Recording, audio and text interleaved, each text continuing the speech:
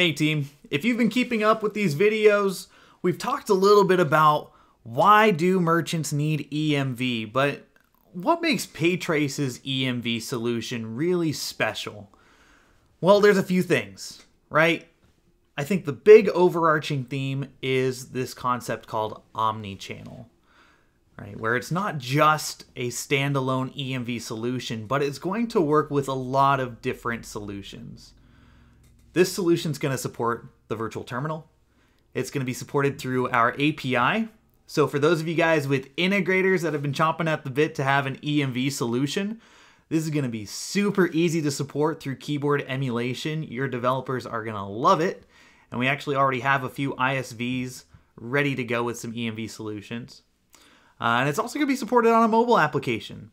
So, right, it's going to have a big outreach to a lot of different types of merchants that need EMV in multiple different areas. Now, not only that, but we've been talking a little bit about plug and play.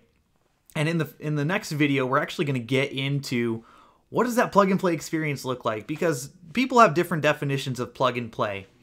But for us, this is going to be a true plug and play out of the box solution. So for merchants that don't want to have to deal with lengthy setups, this is going to be a great tool. Uh, and lastly, it's just going to help manage cash flow.